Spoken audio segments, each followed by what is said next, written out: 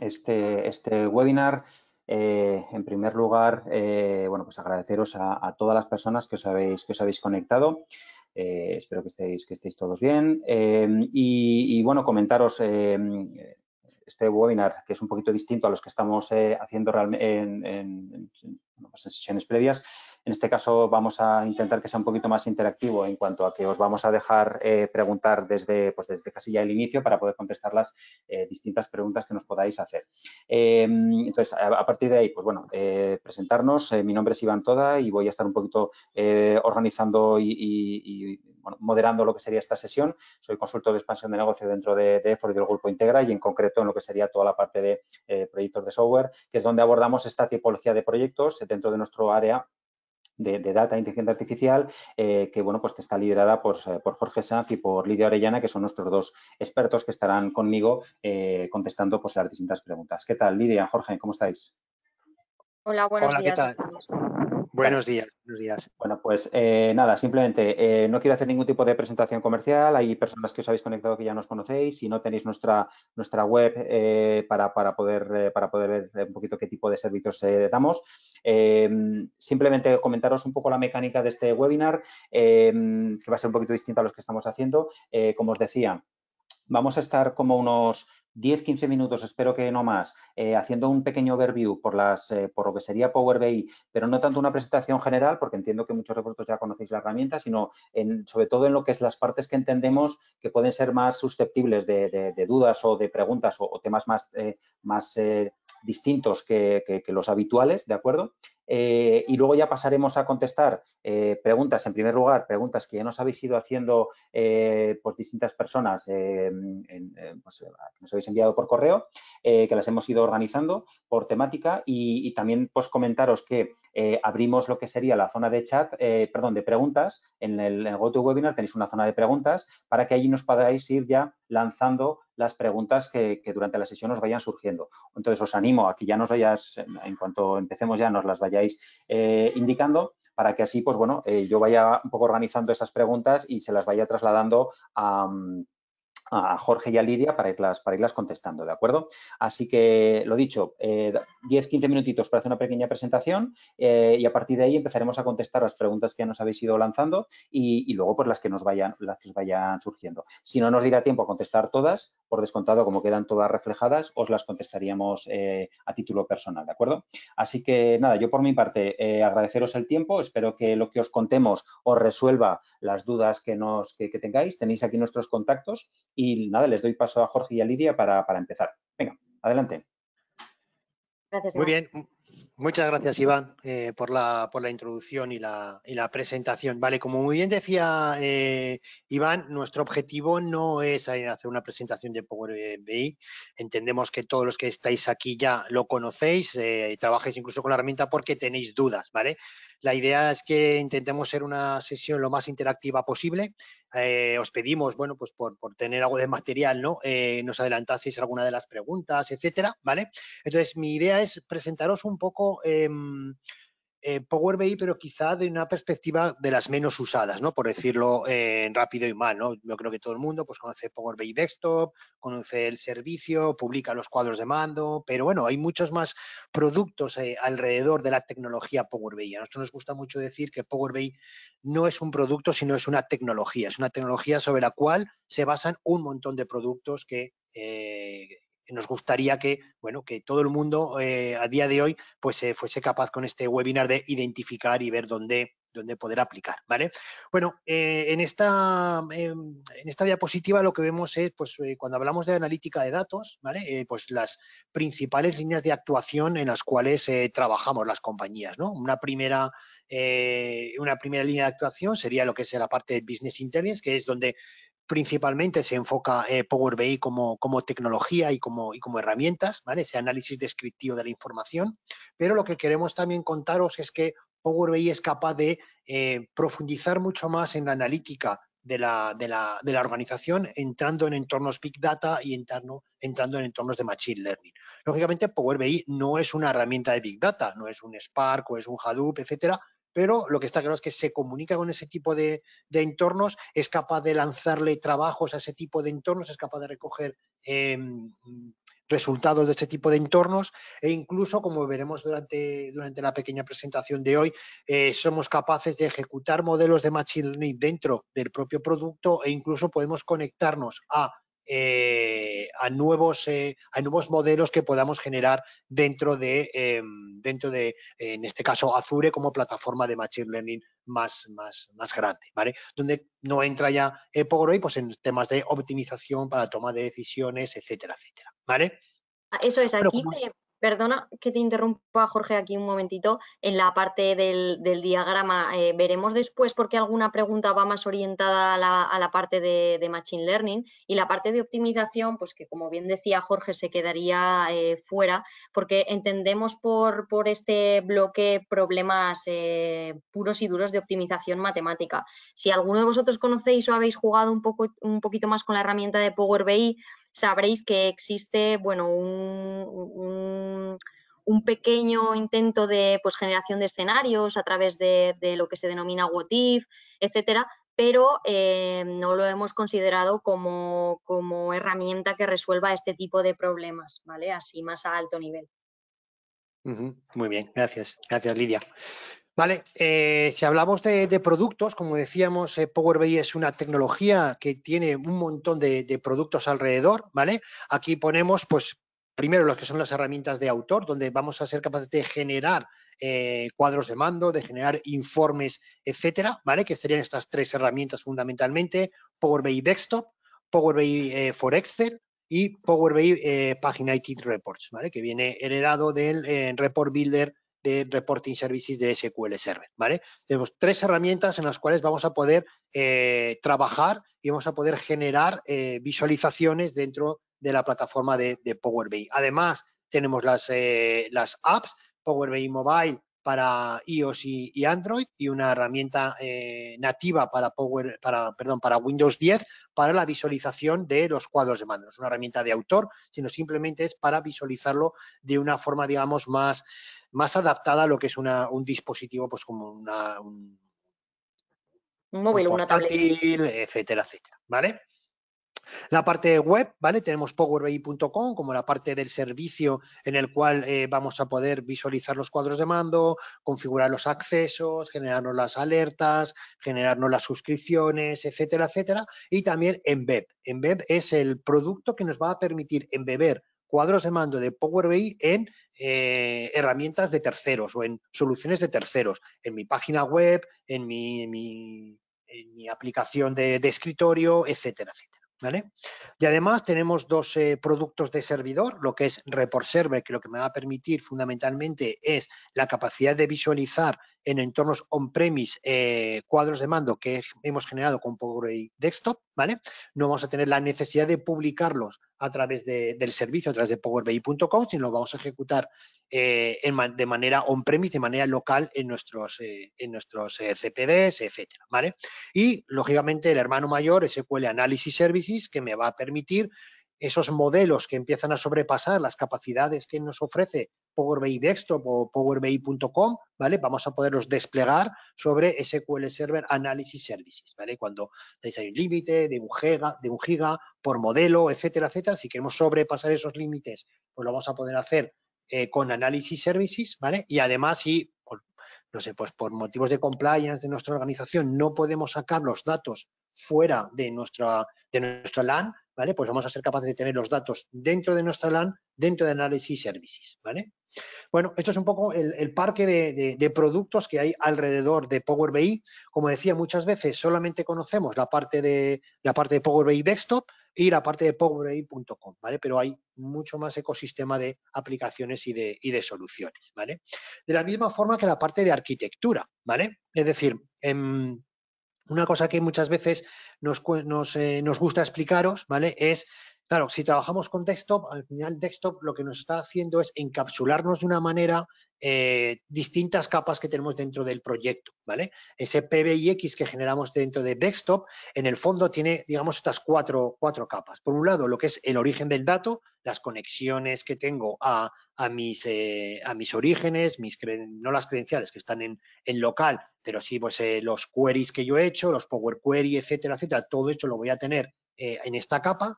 A partir de ahí voy a tener el, dataset, que son bueno, todos los datos en bruto que he obtenido de mis eh, orígenes de datos. A partir de ahí voy a tener el modelo, que es donde voy a empezar a incorporar nuestras, nuestras medidas, nuestras columnas calculadas, etcétera, etcétera, y a partir de ahí vamos a generar cada una de las visualizaciones que vamos a tener en, nuestros cuadros de mano. ¿Vale? Pues bueno, pues hay distintos tipos de arquitectura dependiendo de dónde se coloquen luego cada una de estas piezas. ¿vale? Aquí vais a ver estas cinco que son las principales arquitecturas en las cuales podemos trabajar en, Power BI, ¿vale?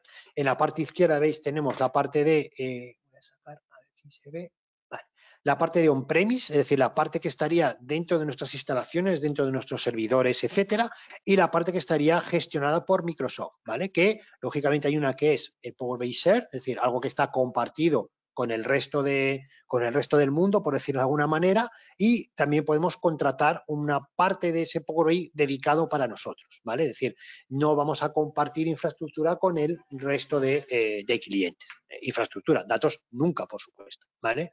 Pues ahí tendríamos la clásica que sería powerbi.com, donde tenemos nuestros orígenes de datos en la parte on-prem y todas las capas se encuentran en powerbi.com, en la parte de servicio. ¿Vale? Tendríamos otra arquitectura en la cual eh, incorporamos análisis services a, a powerbi.com de forma que la capa de visualización se encuentra dentro de powerbi.com, pero toda la parte del modelo, de los datos, etcétera, se encuentra albergado dentro de SQL Server Analysis Services, es decir, dentro de nuestro entorno, de, nuestro entorno on-premise, ¿vale? Si vamos a un concepto eh, en web, ¿vale? En la parte de embed lo que vamos a tener es la capa de visualización, la vamos a tener dedicada. Y la capa de modelo y de datos vamos a tenerlo en la parte de powerbi.com, ¿vale? Y los datos, lógicamente, en local. Esto va a ser una arquitectura como veremos luego, eh, en la cual cuando tenemos muchos usuarios, en los cuales ya no quiero pagar por eh, licencia por usuario, sino quiero pagar licencia por capacidad, ¿vale? Y lo que voy a tener es muchos usuarios, ¿vale? Eh, que lo que van a tener es la capacidad de visualizar cuadros de mando, pero no van a editarlos, etcétera, etcétera, ¿vale? Entonces les vamos a, les llevaríamos a este tipo de arquitectura. O si vamos a una, una parte premium, en la cual ya toda la parte del modelo y toda la parte del data lo tenemos dentro de una infraestructura dedicada para nosotros. ¿vale? Lo mismo, ya no pagaríamos por usuario, sino pagaríamos por la capacidad contratada. Y con Report Server, que sería ya la capacidad de tenerlo todo on-premise, es decir, eh, es un servicio, o sea, perdón, es, una, es un em, software que está dentro del paquete de SQL Server, análisis eh, SQL Server, ¿vale? Y es uno de sus módulos que nos permite instalarlo en local y ejecutar y visualizar todos los cuadros de mando de manera local, ¿vale? Bueno, un poquito está la, introducción, ¿vale? Quizá eh, pues conceptos que muchas veces nos encontramos que no, que no conocéis o que no, o que no trabajáis y que está bien ponerlos encima de la mesa para, eh, de alguna forma, también, bueno, pues crear esas preguntas, ¿no? Si os ha surgido alguna pregunta con esto que os he contado, ya sabéis que existe la, la, opción de realizar preguntas dentro del, GoToWebinar, ¿vale? Eh, y las iremos contestando, ¿vale? Pero, como decíamos, os pedimos estas, eh, estas preguntas, ¿vale? Entonces, em, aquí hemos intentado clasificarlas un poco, ¿vale? En base a eh, la inquietud, ¿no? Que había tras esas preguntas, ¿no?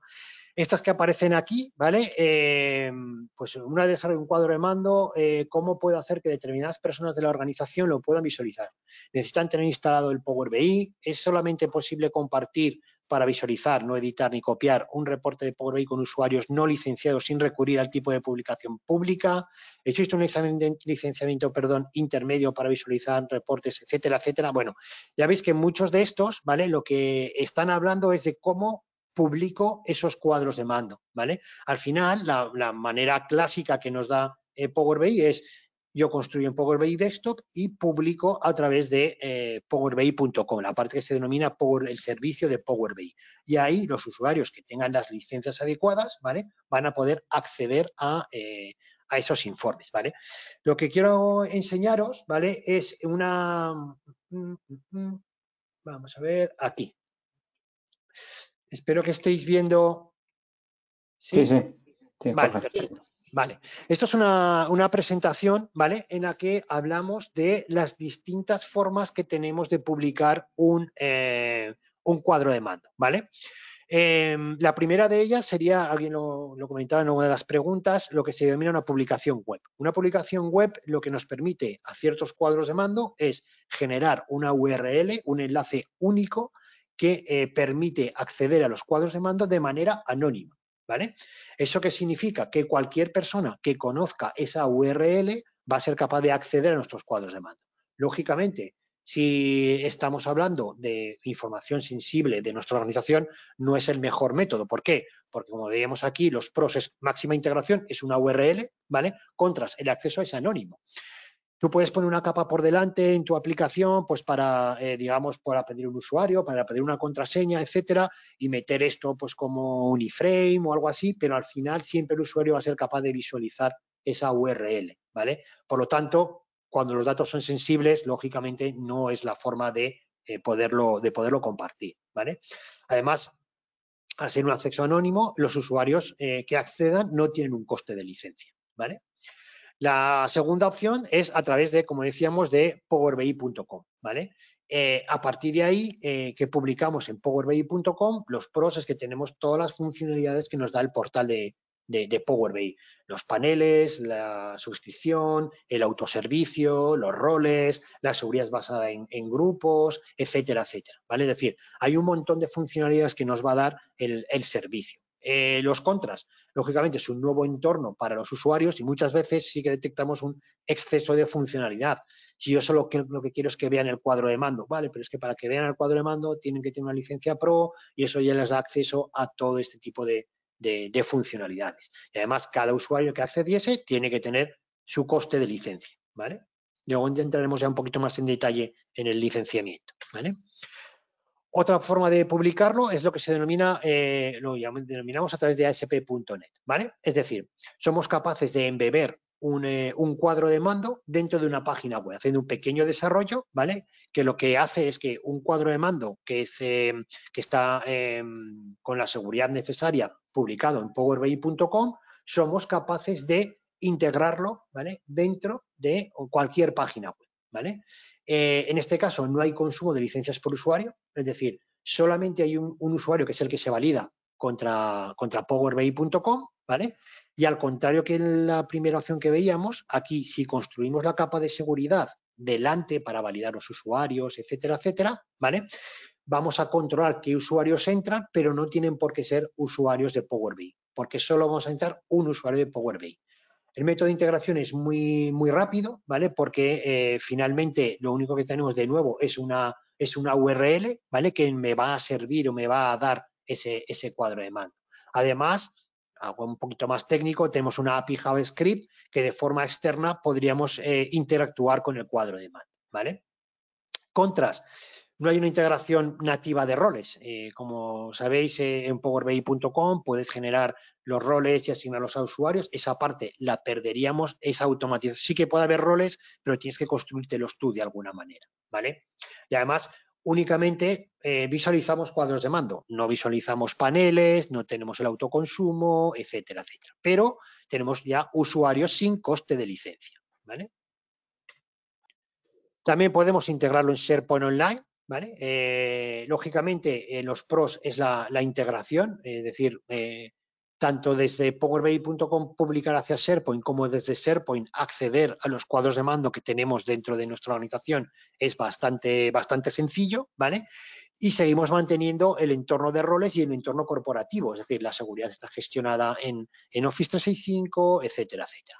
De nuevo, contras, pues únicamente podemos visualizar los cuadros de mando, ¿vale? Y aquí todos los usuarios que acceden a SharePoint, ¿vale? Deberían de tener eh, su licencia eh, activa, ¿vale? Y la otra opción que entraremos también. Eh, Jorge, eh, Jorge perdona, discúlpame, que, igual que, en el anterior que has comentado de, SharePoint Online, evidentemente ya no solo SharePoint, sino otras de las herramientas dentro de lo que sería la suite de Microsoft 365. Es decir, podemos integrarlo en Teams de una forma también muy, muy, muy sencilla, es decir, crear un cuadro de mando y dentro del, Teams corporativo que tengamos, embeber ese cuadro de mando, ¿de acuerdo? Y, un poco esa integración es, es, idéntica, es decir, al final esa integración, ese entorno corporativo es similar a lo que sería en, en. Y también la eh, la forma es muy fácil, pues porque desde el propio Teams hay una opción de insertar eh, un cuadro de mando, ya simplemente tienes que elegir el, cuadro de mando donde está desplegado en powerbi.com y ya lo tienes ahí eh, integrado, ¿de acuerdo? Entonces, también es otra de las vías para poder integrar una aplicación externa, bueno, externa, dentro de lo que sería el, entorno, en este caso Microsoft 365. Perdona, Jorge, sigues, perdona. Sí, sí, bueno, claro, y, si hacemos, igual que si hacemos un Power Apps, ¿vale? Si hacemos una aplicación en Power Apps, podemos embeber eh, cuadros de mando, podemos embeber cuadros visuales únicamente que tengamos dentro de un cuadro de mando, etcétera, etcétera, ¿vale? Y Azure Embed, ¿vale? Embed, eh, esto es un servicio que nos da eh, Azure, en el cual lo que podemos hacer es cuando, como decíamos, ¿no? Y además varias de vuestras preguntas van, tan, van también en, este, en esta línea, ¿no? Oye, si yo solamente quiero que los usuarios visualicen, ¿vale? Bueno, pues si solo queremos que los usuarios visualicen y no queremos y tenemos un número de usuarios elevado que no nos, que nos, no sale rentable el tener una licencia Pro para cada uno de ellos, podemos utilizar Embed. Embed es algo muy parecido al entorno ASP.NET que, que, os he comentado. El entorno ASP.NET tiene ciertas limitaciones del número de sesiones que podemos tener abiertas, etcétera, etcétera. Cuando ya queremos ir a un entorno pues eh, más grande, con más usuarios, con los roles, etcétera, etcétera, nos iríamos a un embed, ¿vale? Que en el fondo funciona muy similar, pero aquí sí que tenemos un servicio por debajo, ¿vale? Que lo que nos va a hacer es, en base a, un dimensionamiento de unas máquinas que nos van a dar el servicio, va a ser un servicio que se ofrece en coste por uso, ¿vale?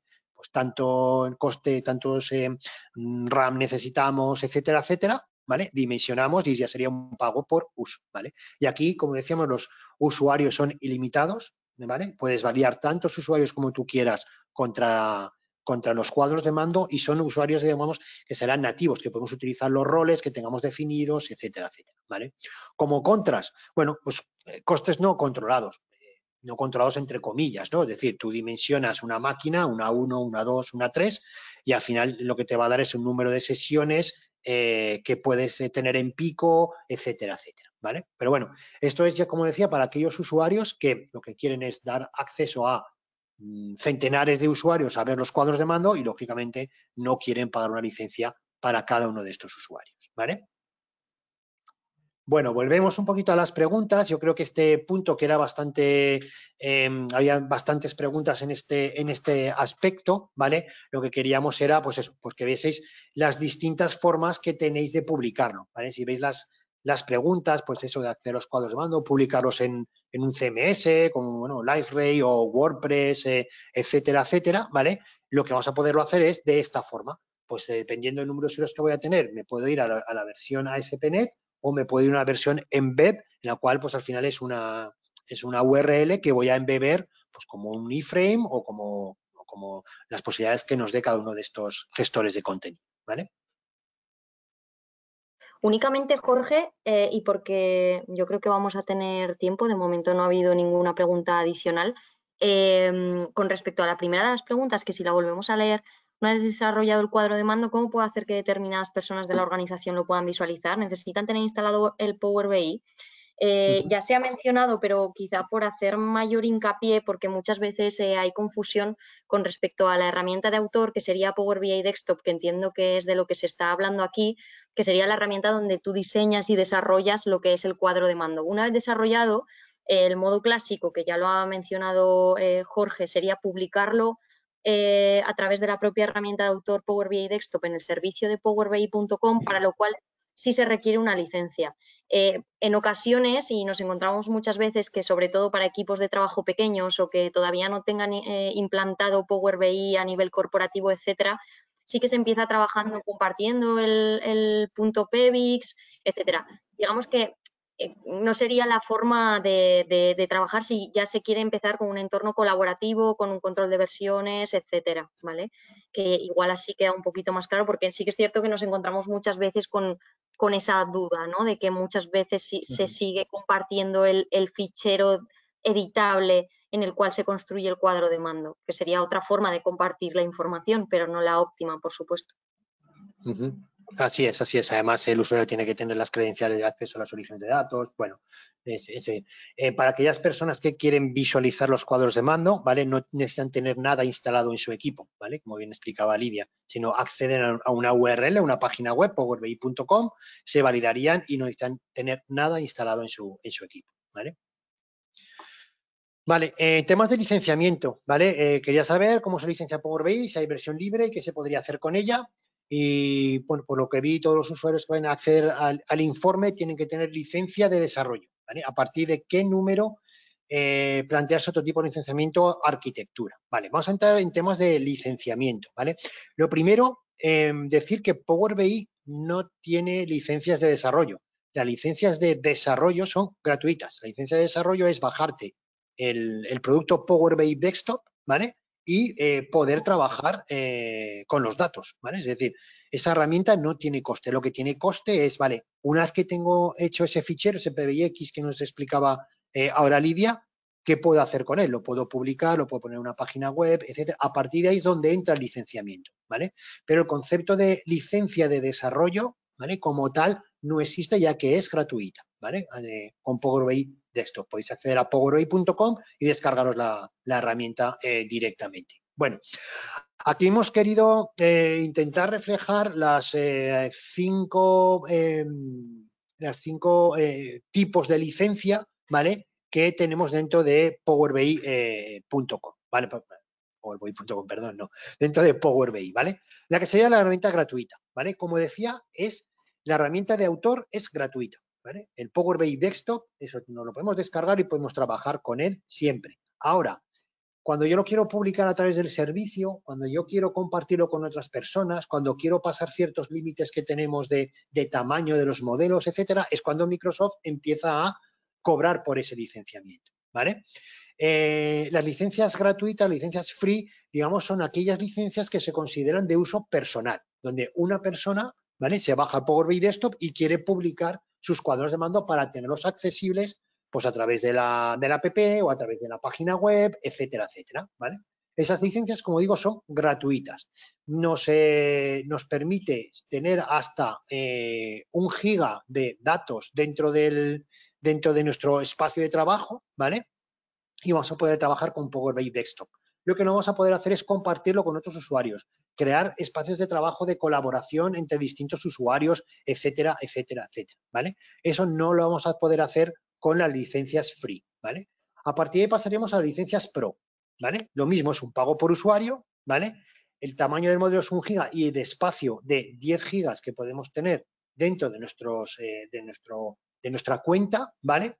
Además, vamos a poder eh, trabajar eh, con gateway local, ¿vale? Es decir, esto lo que nos va a permitir es ser capaces de actualizar los datos que tengamos en local, actualizarlos a la nube. Imaginémonos, yo estoy construyendo mi cuadro de mando que se está conectando a mi base de datos SQL Server, ¿vale? Cuando yo estoy en desktop, estoy en mi equipo, me conecto directamente al SQL y me traigo los datos. ¿Qué pasa cuando esto lo publico en Internet? ¿vale? Y quiero que se actualicen los datos.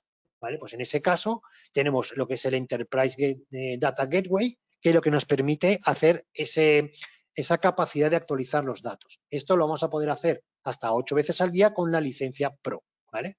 Y muy importante, espacios de trabajo y compartir con otros usuarios, ¿vale?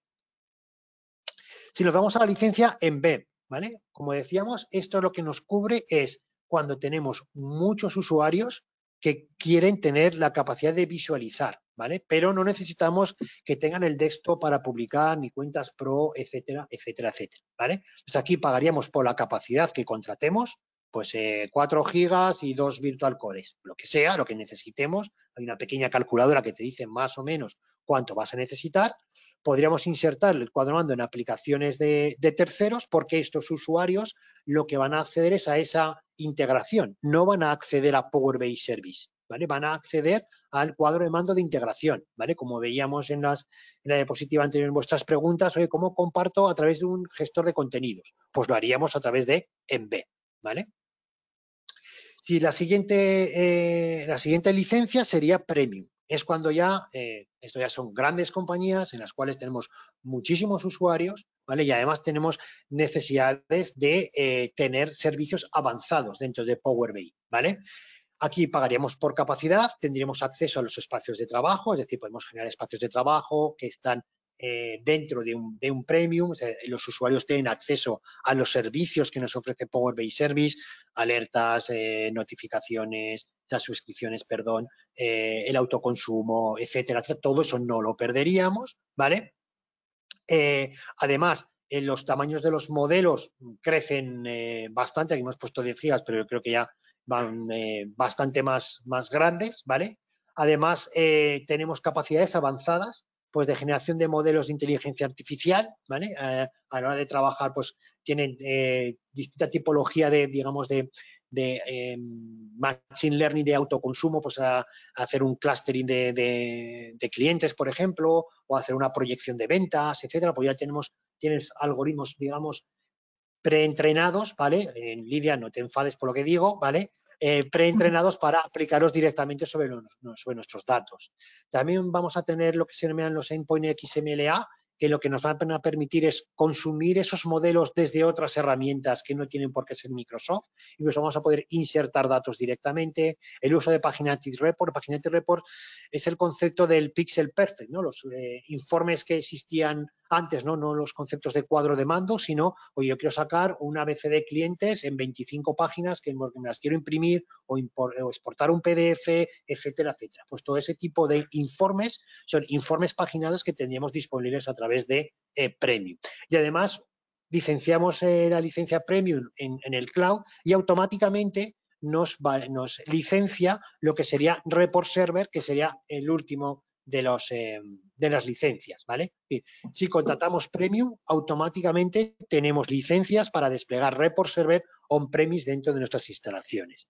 ¿Qué es Report Server? Como hemos dicho al principio, es el producto, es un, digamos, es un reporting services, para aquellos que lo conozcáis, de SQL Server, pero que nos permite además visualizar cuadros de mando realizados con Power BI Desktop, ¿vale? Es un producto que existe desde la versión 2017 de SQL Server Enterprise, ¿vale? Con Software Assurance, ¿vale? El tener ese licenciamiento nos licencia también tener este report server que vamos a poder visualizar todos los cuadros de mando en, un entorno on-premise, ¿vale?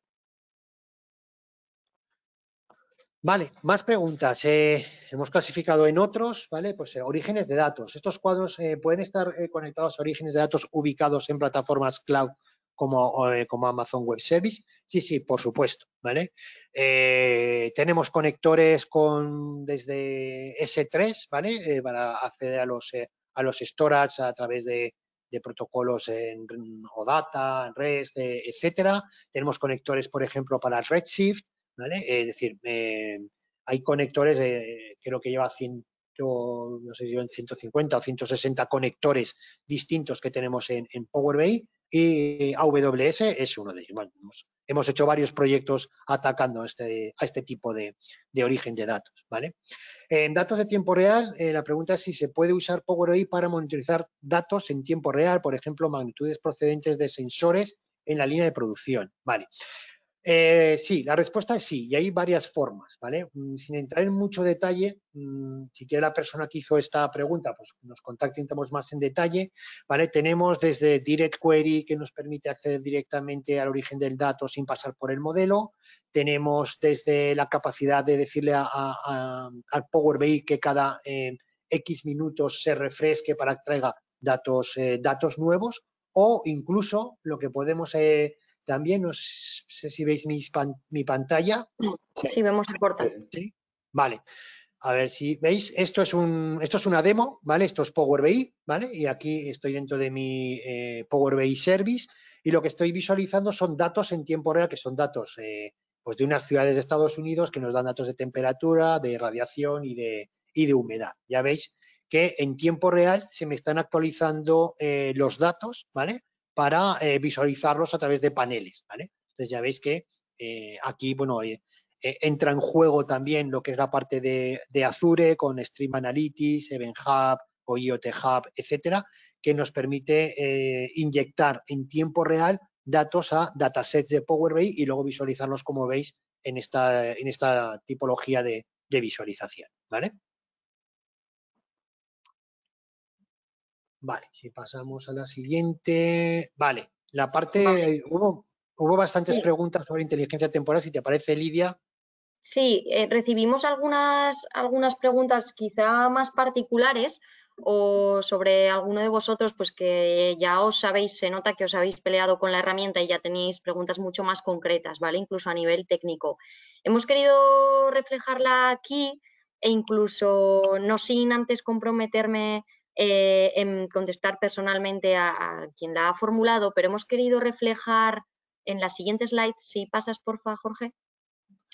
Un, documento, ¿vale? Esta en concreto pues está relacionado porque las preguntas así van vinculadas a las eh, funciones DAX, que como sabéis es, el lenguaje para escribir todas estas, eh, todas estas medidas, etcétera, eh, relacionadas con la inteligencia de tiempo, que incluso podemos acceder si quieres al enlace en el cual pues tendréis disponible, ¿vale? Porque como os lanzaremos la presentación, eh, no solo es de interés esta específicamente, ¿vale? que va vinculada a las, a las funciones de, tiempo. Eh, en general, eh, tenemos muy buena una muy buena documentación ¿vale? con respecto a todas estas fórmulas DAX.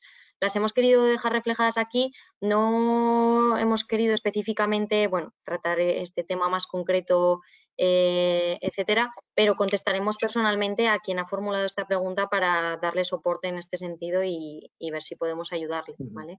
Aquí veis, por ejemplo, eh, ha entrado Jorge a, esta documentación, veis la cantidad de, funciones DAX, que existen para mm, crear eh, inteligencia temporal en nuestras funciones DAX, ¿vale? a la hora de analizar nuestros datos. Son muchísimas, eh, incluso, bueno, no lo hemos llegado a decir todavía, pero Power BI tiene actualizaciones mensuales e incluso hay meses que alguna quincena también meten otra. Está en constante y en continuo desarrollo y, van incluyendo cada vez más también eh, temas relacionados con el modelado, ¿vale? Como serían estas funciones DAX. Con lo cual es una herramienta que está completamente viva. Es uno de los, eh, gracias Lidia, es uno de los puntos fuertes, eh, yo creo además eh, dentro del lenguaje de modelado, la capacidad de manejar el tiempo, ¿vale? Hay un, ya habéis visto, hay un, montón de, funciones, ¿vale? Hay que ver ahora con las preguntas estas en detalle que nos hacéis cuáles de ellas serían las que aplicasen, algunas, calcular un previous year, un year to date, un, un bueno, es bastante, bastante trivial, ¿vale? Pero bueno, Simplemente que tengáis aquí esta, esta información y en concreto a esas preguntas eh, contactaremos con vosotros para, contestaros, ¿vale?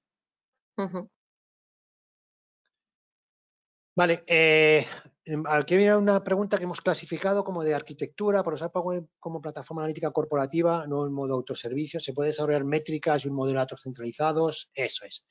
A ver, esto, esto es importante, ¿vale? Es decir, em, eh, estamos muy acostumbrados, ¿vale? Eh, los que habéis trabajado con Power BI eh, de esto, permitidme que vuelva a esta diapositiva, ¿vale?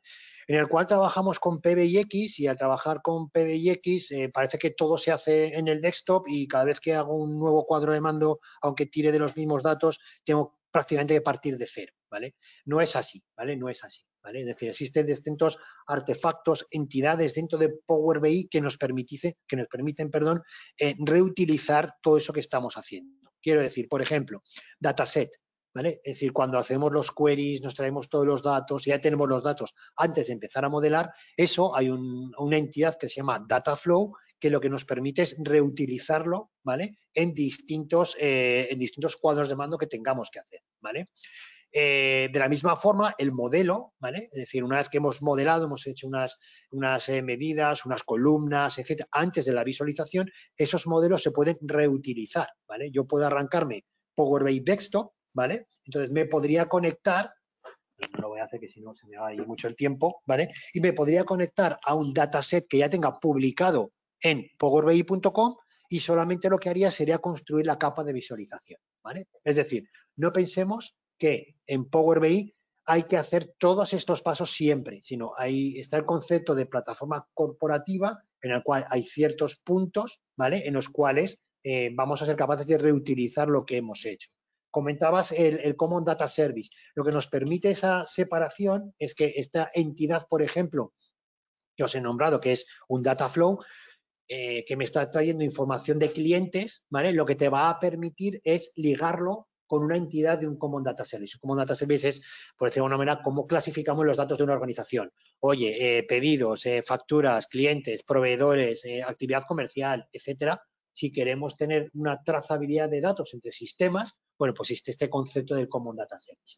respondiendo a la pregunta, sí, se puede hacer de un modelo de datos centralizado, se puede traer los datos sin modelizar de una manera centralizada y no hay que hacerlo cada vez que tengamos que hacer un, eh, nuevo cuadro de mando, ¿vale?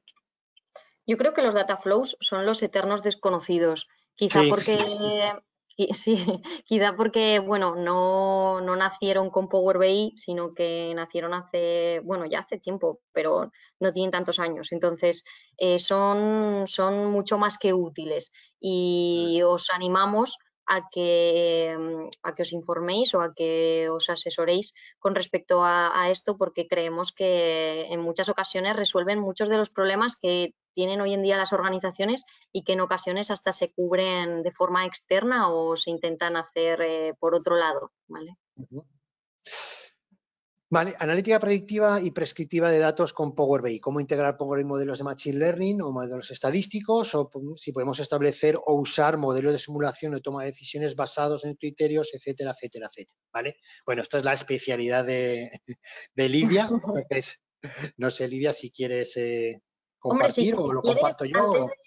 sí, si quieres, antes de pasar a presentar mi escritorio, que a ver si soy capaz, eh, si quieres enseñar la parte que también es interesante y que apareció hace relativamente poco, la capacidad de... Eso es, sí. Bueno, eh, entiendo, bueno, esto es Power BI esto, entiendo que más o menos todos lo conocéis, esto es un cuadro en mando que tenemos de pruebas, etcétera.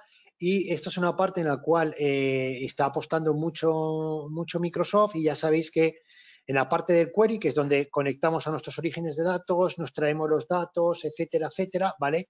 Ya desde hace un tiempo eh, tenemos la capacidad de ejecutar scripts de R o de Python, ¿vale? De forma que cuando me traigo los datos ya puedo ejecutar un script que me permita de alguna forma, que me permita de alguna forma pues, clusterizar clientes, hacer proyecciones, bueno, esos eh, modelos, ¿vale? Que los vamos a poder correr dentro de Power BI, tanto sean en R como en Python, ¿vale? Eso lo vamos a poder hacer directamente en nuestro query o incluso en inicio. ya eh, aquí. Ya se incorporó en las últimas versiones de Power BI las capacidades de consumir servicios cognitivos, ¿vale? Eh, desplegados en, en Microsoft, ¿vale? En Azure o incluso ya modelos más complejos en lo que es Azure Machine Learning, ¿vale? Directamente yo me podría conectar desde Azure Machine Learning, ¿vale? Con mi, con mi cuenta, se va a conectar a mis modelos de Machine Learning, simplemente por lo que veáis, pues yo puedo tener aquí mi modelo de Azure Machine Learning con mi cuaderno de, de, de Júpiter, con mis modelos, etcétera, que yo los voy a poder desplegar dentro de mis modelos y los voy a poder consumir directamente, ¿vale? Desde Power BI. Es decir, le voy a poder pasar un set de datos, ¿vale? Que tengo en, mi, en, mi, en mis pasos aplicados dentro de Power Query, le voy a pasar ese set de datos y me va a devolver un resultado eh, de esos modelos, ¿vale? Entonces aquí vamos a tener una forma de cómo incorporar esos, em, esos modelos de Machine Learning a nuestra, nuestros cuadros de mando y ahora, si te parece, Lidia, puedes contarles tú la otra forma de incorporarlos, ¿no? E, eso es, quizá esta que es bastante novedosa, eh, involucra más herramientas, etcétera. Yo mm, voy a intentar hacerlo un poco más para dummies, aunque a veces no es mi especialidad. Si me pongo muy técnica, me, paráis. Voy a intentar, me decís, em, me decís si veis mi pantalla. Sí, ya la vemos, sí. Vale.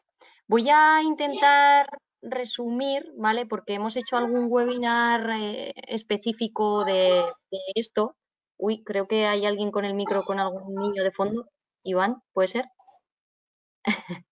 Ahí, vale, gracias. Es que en mi casa era imposible. perdón, eh, perdón, perdón. No, te preocupes. Eh, voy a intentar ir bastante al grano porque, lo dicho, tenemos algún que otro webinar ya, ya grabado con específico de esto, ¿vale? La hora completa hablando sobre todas las capacidades de analítica avanzada dentro de Power BI. Les voy a intentar ir bastante al grano. Eh, existen diferentes formas de consumir modelos de analítica avanzada dentro de lo que sería desktop, ¿vale? Eh, voy a intentar ir desde el más sencillito hasta, hasta la forma más compleja o, bueno, la que requeriría de una mayor especialización, ¿vale? Eh, de manera que lo podáis ir viendo. Una, forma, ¿vale? Que podéis probarla todos vosotros si tenéis eh, descargado desktop, que además, eh, como decimos, para los que todavía no, os lo hayáis descargado, pues es gratuito, etcétera.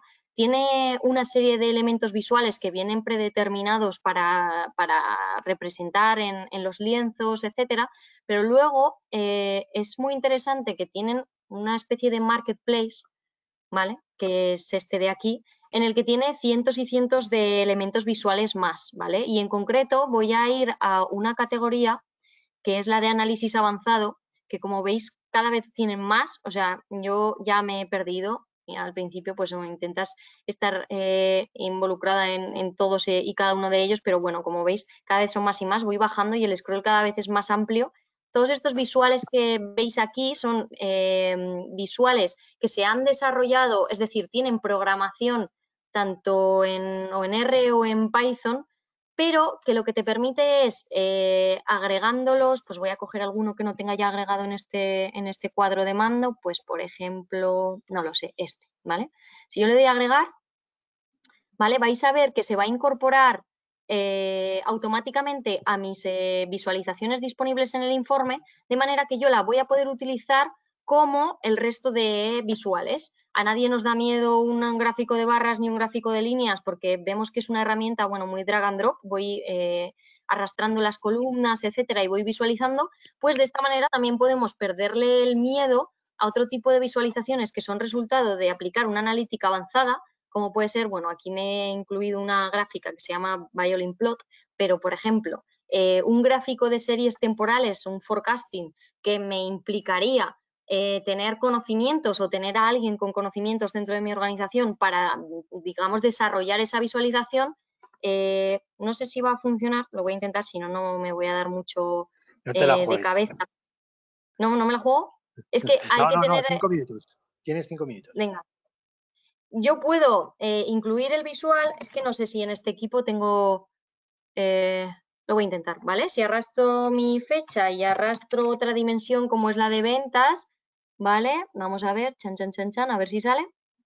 Y si no, pasamos. Pues será Sí, sí, no, pues es que he cambiado de equipo y suponía que iba a suceder, ¿vale? Pero em, e, es posible representar estos visuales de una forma muy sencilla, ¿vale? Esta sería la forma más, más eh, fácil. La siguiente sería a través de em, objetos de script eh, libre, tanto en R como en Python, ¿vale? Yo puedo incluir aquí dentro de mi lienzo un objeto visual que es este que veis aquí, en el cual yo podría, si le incluyo alguna dimensión, que lo que hago, lo que estoy haciendo al fin y al cabo es generar mi, dataset de, origen, ¿vale? Esa parte de código te la, te la ahorra la plataforma, ya se crea el data frame, en este caso estoy escribiendo en R, y aquí yo todo lo que sepa hacer con código lo podré representar en, en mi Power BI, ¿vale? Esta es una, una capacidad que nos da Power BI muy buena.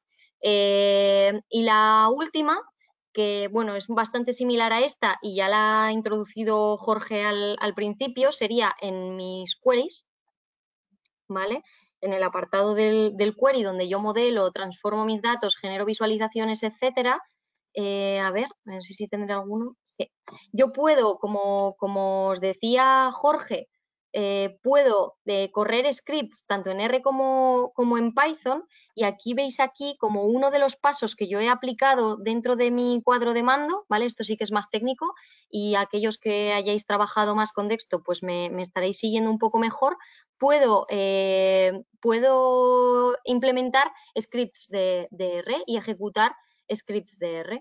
¿vale? De manera que yo, por ejemplo, aquí en este script tan sencillo que estáis viendo aquí, lo que he hecho es generar un análisis clúster sobre mis datos y he creado una etiqueta nueva, una dimensión nueva en mi conjunto de datos que sería etiqueta clúster América que me incorporaría, eh, me incorporaría esta información a mi modelo de datos que no tenía previamente y que ahora puedo incluir en mis visualizaciones, eh, generar eh, nuevas estadísticas, etcétera. ¿Vale? Entonces, esas serían un poco las tres formas más clásicas y que, bueno, la primera de ellas no tenéis excusa para, probarla, que, que, nos permite Power BI a la hora de trabajar con modelos de analítica avanzada.